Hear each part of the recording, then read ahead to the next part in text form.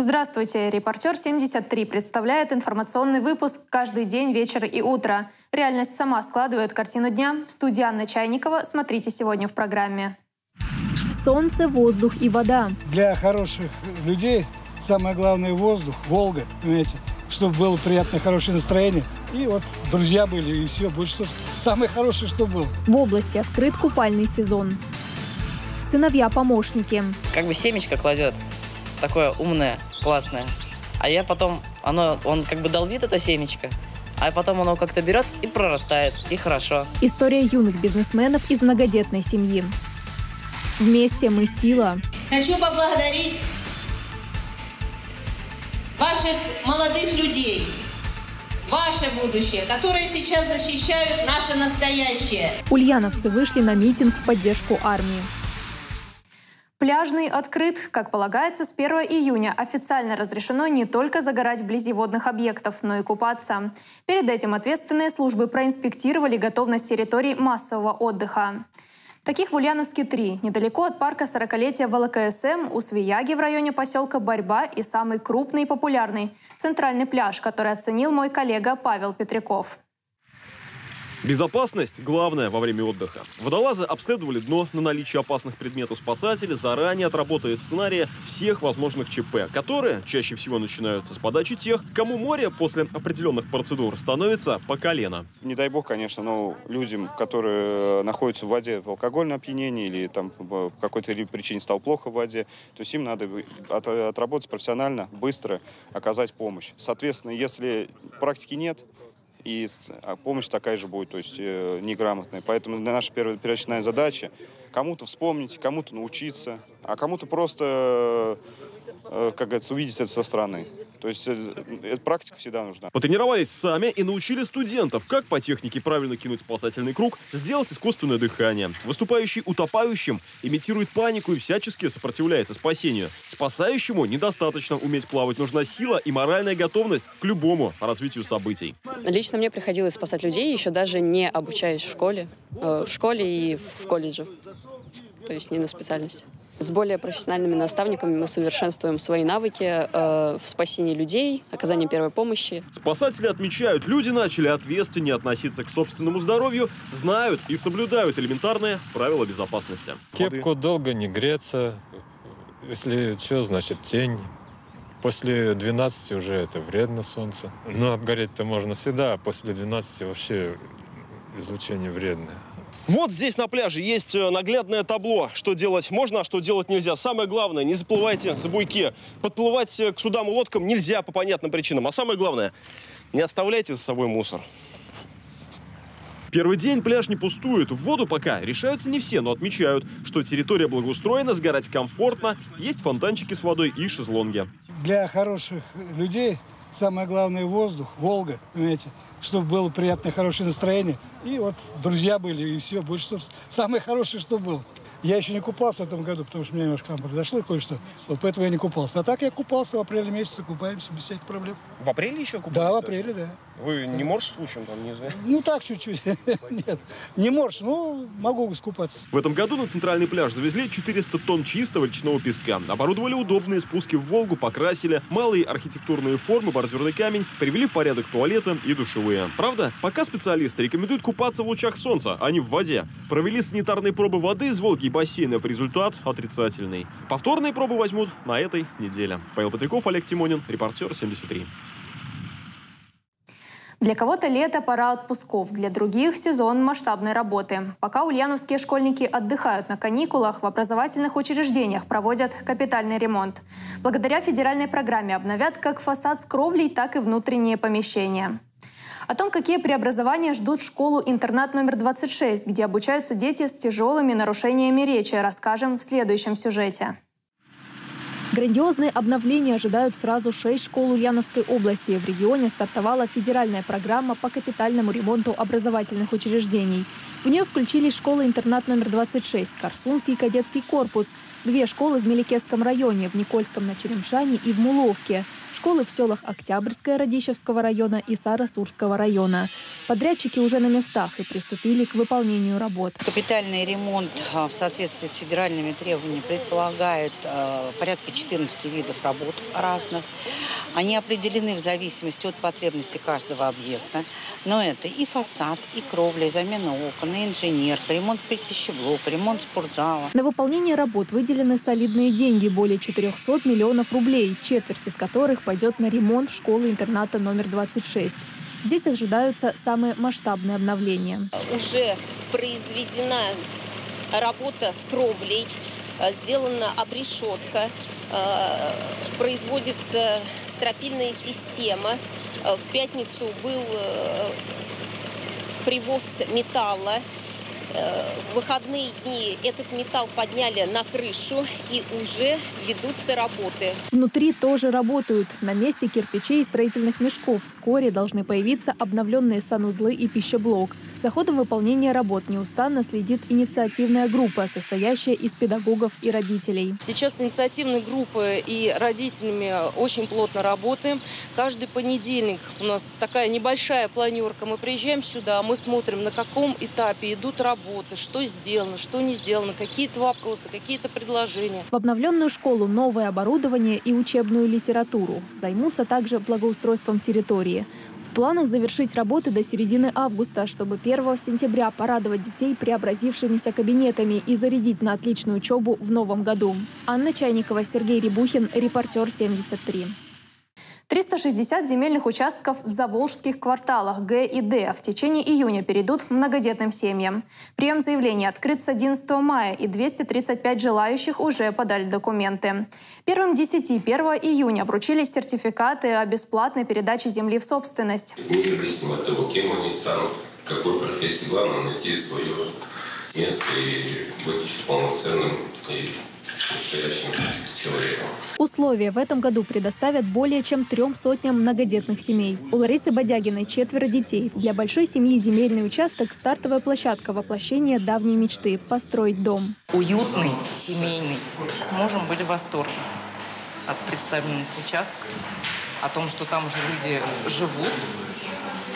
Это Заволжье, кварталы Г, Д недалеко. То есть Участки замечательные. В семье Люлиных детей пятеро. Каждому нужно свое пространство. Плюсом на прилегающем участке можно разбить огород. Но самое главное, скоро у дружного семейства появится дом.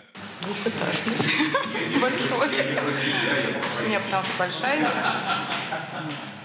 пока планируют жить с нами. Коммуникации к участкам уже подведены. Кроме того, временные расходы будущих домовладельцев Министерство имущественных отношений берет на себя. Ведомство само отправит документы семей на регистрацию права собственности. Но и это еще не все бонусы. У нас а, действует а, значит, постановление правительства так называемое 300-700 вот. Это о дополнительных выплатах э, гражданам, которые получили земельные участки. То есть до 300 тысяч рублей можно получить на ипотеку при э, начале строительства, либо уже после окончания строительства вы можете получить до 700 тысяч рублей вот, но не более 25% от кадастровой стоимости. И помимо этого на ипотечный заем или строительные работы можно направить средства по именному сертификату «Семья». Символично, что старт новому началу дан в День защиты детей. Вы на самом деле настоящий герой, потому что с одним ребенком тяжело, с двумя тяжелее, а с тремя, с четырьмя тем более. Но зато, э, зато с большим количеством детей весело. Главная задача любого и особенно многодетного отца – прокормить свое потомство. Оказывается, бывают и ситуации от обратного, когда даже несовершеннолетние дети готовы пусть не обеспечивать родителей, но существенно пополнить семейный бюджет. Это подтвердят герои сюжета, подготовленного Татьяной Домодановой. Тут очень щепетильно нужно относиться к ним. Они как дети маленькие. Братья Шараповы, Тимур и Артур, тоже попадают под категорию детей, но таковыми являются чисто номинально. Подход к жизни у парней взросло ответственный, да и стартап, который придумали и реализуют, вполне себе зрелый. Совсем как это микрозелень, лен и редис, подсолнечник, горчица и горох. Сейчас горошек засаживаем. Его чаще всего засаживаем, потому что он большой, легче всего замачивается. А, Он понятный, легко растет. Очень вкусный. Замочить, рассадить, дать время на прорастание, но при этом не забывать, создавая специальные условия. У нас здесь стоят э, лампы специальные для выращивания микрозелени и вентиляторы для постоянной циркуляции воздуха. Они 16 часов работают по таймеру и потом выключаются в день, чтобы микрозелень не перерастала. Идея стартапа зародилась у 14-летнего Тимура год назад, когда от любимого фастфуда отказался в пользу ЗОЖ. Микрозелень, молодые проростки зеленых культур сначала вошли в семейный рацион, а сейчас потихоньку заходят на региональный рынок. Если употреблять микрозелень э, регулярно, то ваш организм э, наполнится всеми нужными витаминами для жизни. Это пока что еще такая незанятая ниша. Всем интересно, ой, что это такое у вас маленькое, и вкусно, и для блюд им украшать, им самое такое, то, что нужно. Ежемесячный доход начинающих бизнесменов порядка 5000 рублей. Всю выручку братья Шараповы тратят, но не на мороженое и чипсы, а на расширение производства. Закупают семена, лотки и оборудование. Среди постоянных покупателей по большей части знакомые.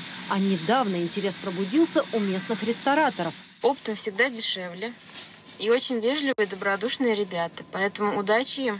Ребятам огромное спасибо за их труд. Они большие молодцы. Процветания вашему бизнесу. Спасибо за вкусную микрозелень. Сейчас предприимчивые братья выращивают до 30 лотков ежемесячно. На перспективу хотят довести количество до сотни, а прибыль отдавать родителям. Зимой этого года у Шараповых случилось несчастье, сгорел дом. Активно восстанавливают, так что любая копеечка в дело. Откуда у подростков такая сознательность? Говорят, от папы. Он как бы семечко кладет, такое умное, классное. А я потом, оно, он как бы долбит это семечко, а потом оно как-то берет и прорастает, и хорошо. Хорошо всей семье. Сыновья заняты интересным делом, остальные наслаждаются полезными салатами и смузи.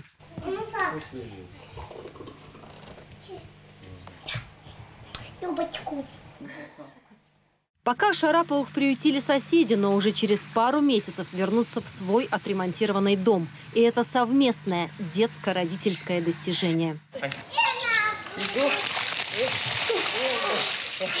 А, класс, ребят. Ну и сегодня, в праздничный день, День защиты детей, наверное, остается только один вопрос, который мы зададим отцу и человеку, который входит в Совет отцов Ульяновской области. Э, Расскажи, как? Как вырастить вот таких вот целеустремленных, активных, нацеленных на перспективу? Ну, секрета-то особого нет. Мы стараемся передавать тот опыт и знания, которые нам передали наши предки, деды, отцы, и стараемся сохранить преемственность поколений. И, собственно говоря, личным примером только. А дети наши тоже для нас являются большими учителями. Татьяна Домоданова и Алексей Юферев, репортер 73. За десятилетия, миновавшие с учреждения Дня защиты детей, проблемы новых поколений человечества по своей сути остались прежними. Старшие диктуют правила, подчас не считаясь с интересами младших. Но что будет, если эти интересы возвести в абсолют и сделать мерилом всех вещей? Вопрос риторический. Современный подход к воспитанию предписывает исключить физическое воздействие. Взрослый человек должен находить подход и держать себя в руках в силу жизненного опыта. Мнение наших земляков о правильном подходе к воспитанию в рубрике «Глаз народа». Или на своем примере, или уговорами, и- или чем-то завлекаю, у- увлекаю чем-то. Я считаю, что надо с ними разговаривать все-таки. Разговаривать. Разговаривать надо. Особенно, когда вот им 5-6 лет, когда например, маленькие, да, да даже пусть 7-8, даже пусть 11 лет. Ну, можно вот даже мальчишку, можно на колени взять, обнять и поговорить по душам. Надо обязательно им книги читать, сказки рассказывать. Вот. Тогда дети вырастут это, понимающие, умные, то будут любить читать. Такие меры были, что или в угол, или э, не, э, обещали куда-то сходить, а раз провинились, значит, никуда не пойдете. Ремнем. Если он провинился вдоль ваниши, и все. Вдоль задницы. Так. Разок. Он потом умный будет. Лишение телефона на какой-то период еще времени. что? Интернета, потому что очень лю- дети сейчас любят Зависимость, да. вот это все в интернете смотреть. всякие ролики, которые, ну, плохо влияют на детей. Дети лучше всего усваивают то, когда они видят, как нужно себя вести. Ну да. Будем ставить в угол. В угол ставить еще какие методы? Будем лишать мобильных телефонов. Меня воспитывали в любви, уделяли мне много внимания. Я также планирую воспитывать своих детей. Я объясняю, почему нельзя, что какие последствия после этого могут быть. Я за принцип кнута и пряника. Ну, наказание не физическое, а какое-то должно быть определенное. Но если вы его поощряете за хорошие поступки, то можете наказывать и за плохие. Они на шею уже сели всем, эти дети. Вы их избаловали своими этими. Не трогай меня, я напишу заявление, посажу тебя, папа. Это так не делают. Ну, естественно, наказывать-то надо нормально, если он действительно за что-то провинился, не так просто. Чтобы порядок соблюдали. Трудиться с детства, считай, с детства их трудиться, заставлять трудиться. Особенно сейчас такое время, что человек все должен уметь. И вот девочки и шить, и рисовать. Почему рисовать? Просто это э, развивается такое чувство, она не художник будет, но какая-то точность, э, любовь к красоте. А возможно, запретами какими-то? Телефон. Да, да, сейчас это актуально, там запретом телефон, возможно.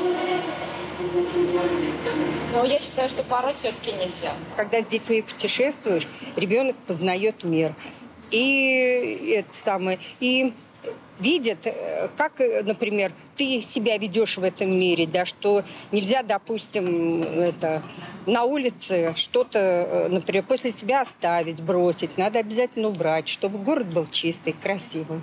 В июне жителей России ждет целый пакет новшеств. О некоторых расскажем прямо сейчас. Например, прожиточный минимум и МРОТ, а также пенсии неработающих пенсионеров проиндексируют на 10%. Отмечу, что с 1 января индексация пенсий для отмеченной категории граждан уже проводилась на 8,6%. Далее коротко о других заметных изменениях в жизни граждан страны. 1 июня в России запускается программа выдачи льготных ипотечных кредитов представителям IT-отрасли. Кредитная ставка по указанной программе составит до 5% годовых. В 2022 году на эти цели правительство выделит полтора миллиарда рублей. С 29 июня россияне смогут проводить платежи по КАСКО и ОСАГО в размере до 40 тысяч рублей без идентификации личности. Ранее разрешалось проводить подобные платежи лишь до 15 тысяч рублей. Члены экипажа воздушного судна и сотрудники службы авиационной безопасности при пресечении противоправных действий на борту самолета могут использовать специальные средства сдерживания. Делать это можно на основании распоряжения командира воздушного судна. Купить гражданское оружие можно будет только с 21 года. Запрещается выдача лицензии на оружие гражданам с непогашенной или не снятой судимостью за тяжкое или особо тяжкое преступление, а также его переделка и распространение соответствующих инструкций. С 1 июня спортивные болельщики в России будут посещать соревнования, предъявляя специальную карту Fan ID, то есть при входе на стадион будет проверяться личность посетителя. Цель нововведения – обеспечить безопасность и общественный порядок на официальных спортивных соревнованиях. В Ульяновске сезон ремонта. Дорожные бригады взялись за асфальт на улицах в разных районах города. Накануне администрация обязала подрядчиков устранить выявленные недочеты. По словам главы города, на улице Кольцевой проверяющие выявили зазоры между бордюрными камнями. На проспекте Ульяновском провалы оснований колодцев. В остальном работы идут по графику. Подробности в следующем сюжете. Улица Кольцевая – одна из пяти ульяновских, на которых в этом году уже развернулись работы по национальному проекту «Безопасные и качественные дороги». Около 70 миллионов рублей выделено на замену асфальта, бордюров, установку знаков и освещение участка. Одна из основных проблем была это перекресток Варейки-Кольцевая, где всегда скапливалась э, у нас э, талая вода. То есть в этом году э, в составе проекта эти по переустройству сети ливневой канализации у нас в проекте все включено. То есть думаю, что одной из основных проблем мы в этом году избавимся. Также в проекте предусмотрено 17 новых заездных карманов. Рабочие уже выполнили начальные этапы их создания. На данный момент мы производим работы по установку борткамня вдоль проезжей части, на заездных карманах. Э, также идет э, параллельно работы по укладке щебня на тротуарах и установку поребриков. Контроль качества ко всем видам работ строгий. Проверяют и ровность дороги, и качество полотна, и соответствие всех элементов техническому регламенту. На этом объекте а, субподрядная организация пренебрегла всеми требованиями, которые у нас а, заложены регламентом и выполнили некачественную установку а, бортовых камней как на проезжей части, так и поребриков на тротуаре. А, в течение недели подрядной организации был дан срок, то есть все это устранить. Работа над ошибками прошла успешно. На сегодняшний день готовность этого объекта оценивается в 60%. На 30% нечетной стороны улицы Камышинской. Этот объект достаточно трудоемкий. Здесь, помимо обновления покрытия проезжей части, ремонта тротуаров, обновления знаков и разметки, предстоит переустроить проблемный перекресток с Жигулевской и Хашимина. На объекте сегодняшний день техника не больно так э, задействована, потому что подготовительные работы идут. Идет э, эскаватор, там э, работает манипуляторы, техника перевезена везящие материалы. Э, рабочих здесь работает около 20 человек. Это общее количество на тротуарах и на проезжей части. Ремонт идет на ипподромной, на проспекте 50-летия ВЛКСМ. Кстати, перекресток с Полбина также переустроят, но с организацией кольцевого движения. В Заволжском районе бригады работают на проспекте Ульяновском. Кроме нацпроекта, в планах на этот год на областные средства обновить 11 пешеходных переходов близ школ и ликвидировать 15 мест концентрации ДТП. На территории Луганской и Донецкой народных республик, а также на территории Украины продолжается специальная военная операция. Документальные кадры военной хроники красноречиво свидетельствуют о преступлениях киевского режима. Видя это, жители Ульяновска провели митинг в поддержку нашей армии и решения президента вмешаться в происходящее в соседней стране. Дискриминация по национальному признаку – это возрождение нацизма – а что такое нацизм, хорошо помнит большинство жителей бывшего СССР, противостоявшего в 40-е гитлеровской Германии и ее сателлитам. Представители общественных организаций и политических сил и просто неравнодушные жители областного центра, а также вынужденные переселенцы с Донбасса вместе высказались о событиях в соседней стране. Наши войска стараются не допускать гибели мирного населения временно оккупированных Киевом территорий, а также тех областей Украины, где разворачиваются боевые действия, нацеленные на денацификацию и демилитаризацию. Сегодня этот митинг организовала наша организация «Боевое братство».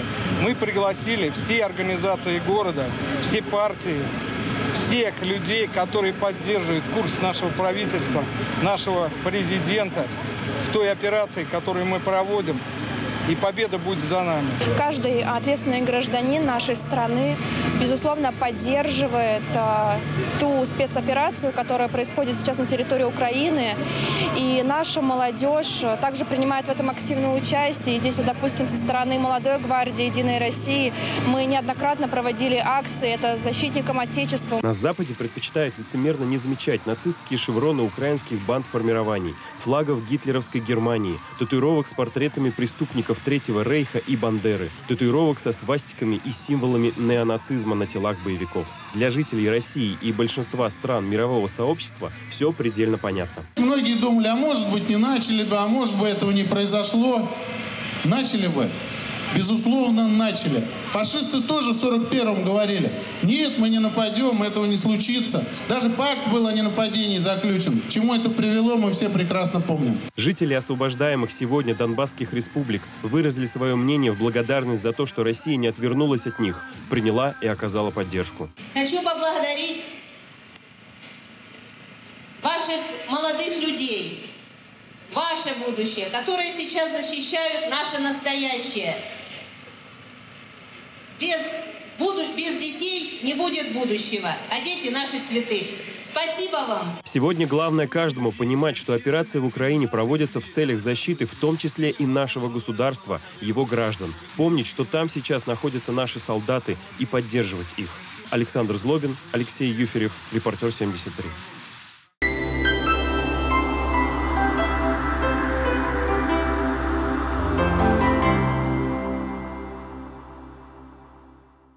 11 июня в Ульяновске состоится концерт академического ансамбля песни и танца Удмуртской республики «Италмас» имени Анатолия Васильевича Мамонтова. Репертуар ансамбля «Италмас» невероятно многообразен, а его основу составляют удмуртские народные песни и танцы. Концерт пройдет во Дворце Губернаторский в рамках второго межрегионального фестиваля профессиональных коллективов народного творчества по Волжье «Широкая Волга». Начало в 18.00. Мы победили, потому что мы были вместе. Люди разных национальностей и вероисповеданий. Одной большой большой Родины.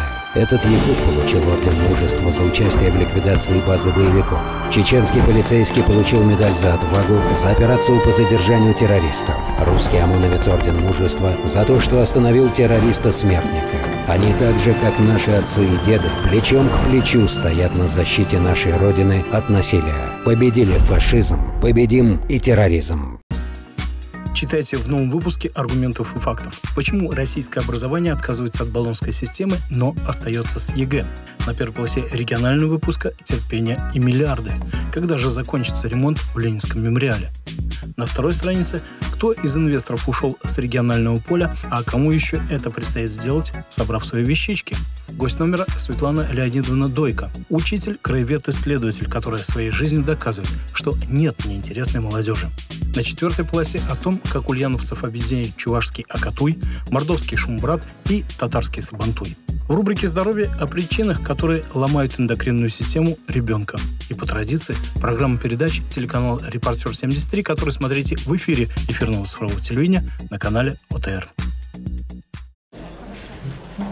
Девять месяцев мы с вами. Анализы, диеты, бесконечные тесты. Вы волнуетесь, я тоже.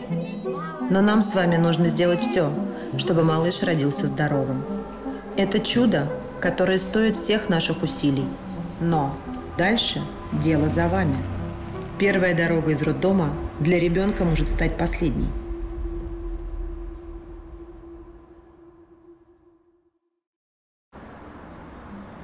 При проектировании дороги необходимо учитывать э, все параметры – разделить встречные потоки, учесть скорость движения. Но прежде всего безопасность, конечно. Думаете, превысить на 10-15 км в час не страшно? Это те самые 10-15 километров, которые могут спасти жизнь вашего ребенка или забрать.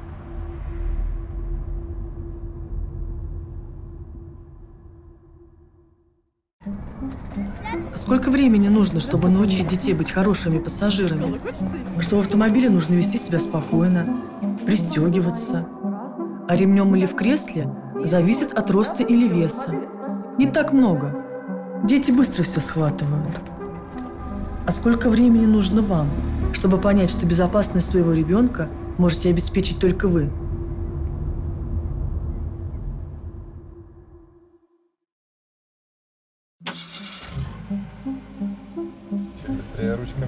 Научиться управлять автомобилем, чтобы сдать на права, это легко. Но мне важнее научить человека не рисковать. Знаете, что больше всего уносит жизнь? Обгон по встречке. Если у вас ребенок в машине, нет ни одной причины рисковать его жизнью и выезжать на встречную полосу.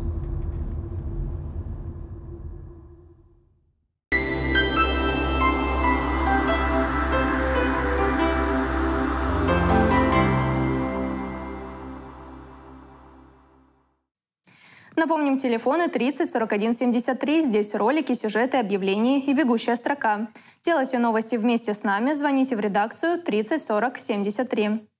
Смотрите «Репортер» не только в эфире. Мы присутствуем на всех ведущих российских социальных платформах. Все наши программы и сюжеты можно увидеть на Яндекс.Дзене. Подпишись и будь в курсе реальности.